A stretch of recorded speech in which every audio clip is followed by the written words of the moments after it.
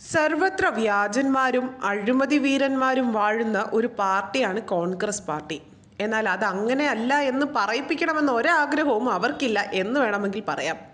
ഓരോ ദിവസം കഴിയും തോറും അഴിമതിയുടെ കഥകൾ കൂടുന്നതല്ലാതെ കുറയുന്നത് യാതൊരുവിധ ലക്ഷണവുമില്ല. ചെന്തമംഗലം സഹകരണ ബാങ്ക് ഭരണസമിതി കോൺഗ്രസ് നേതൃത്വത്തിന്റെ കീഴിലാണുള്ളത്.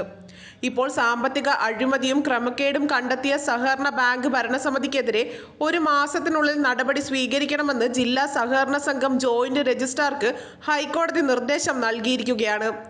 വർഷങ്ങളായി കോൺഗ്രസ് നേതൃത്വത്തിലുള്ള ഭരണമാണ് ബാങ്കിലുള്ളത്.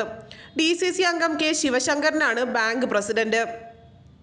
ബാങ്കിൽ രണ്ടു കോടി രൂപയുടെ വായ്പയ്ക്ക് ഈട് നൽകിയ വസ്തുവിന്റെ ആധാരം വായ്പ നിലനിൽക്കെ ബാങ്കിന് പുറത്തു കൊണ്ടുപോയി വിൽപ്പന നടത്തിയതിൽ ബാങ്കിന് വലിയ സാമ്പത്തിക നഷ്ടമുണ്ടായി.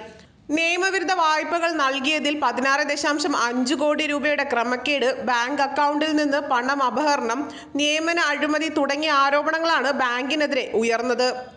ആരോപണങ്ങളെ തുടർന്ന് സഹകരണ വകുപ്പ് രണ്ട് അന്വേഷണം നടത്തി. ക്രമക്കേട് കണ്ടെത്തിയെങ്കിലും നടപടി ഉണ്ടായില്ല.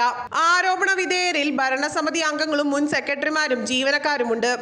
അഴിമതി നടത്തിയ ബാങ്ക് ഭരണസമിതി പിരിച്ചുവിടണമെന്നും ശിവശങ്കരൻ ഉൾപ്പെടെ ഇരുപത് പേർക്കെതിരെ നടപടി വേണമെന്നും ആവശ്യപ്പെട്ട് എട്ട് സഹകാരികൾ ജില്ലാ സഹകരണ സംഘം ജോയിന്റ് രജിസ്ട്രാർക്ക് രണ്ടായിരത്തി ഇരുപത്തി മൂന്ന് മെയ് മൂന്നിന് പരാതി നൽകിയിരുന്നു. എന്നാൽ നടപടി സ്വീകരിക്കാൻ ജോയിന്റ് രജിസ്ട്രാർ തയ്യാറാകാത്തതിനാൽ ചെന്തമംഗലം പഞ്ചായത്ത് വൈസ് പ്രസിഡന്റും C P M local committee അംഗവുമായ വി യു ശ്രീജിത്ത് ഹൈക്കോടതിയെ സമീപിച്ചു. നടപടി സ്വീകരിക്കാൻ ജോയിന്റ് രജിസ്ട്രാറോട് ജസ്റ്റിസ് എ രാജ വിജയരാഘവൻ ഉത്തരവിട്ടു.